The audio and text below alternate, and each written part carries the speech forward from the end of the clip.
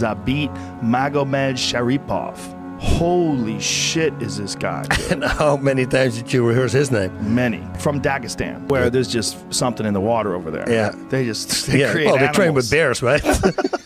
But this guy is tall and skinny, and he fought Kyle Bokniak. Bokniak is a fucking animal. He is a savage because he was there at every second of this fight trying to win. So the end of the fight, and I'm telling you, Bokniak's getting his ass kicked the whole fight. Never saw. Look at this. The end. Standing right in front of him, hands down, fucking teeing off. The whole crowd going crazy. Yeah, yeah, And then this is my favorite part. It ends.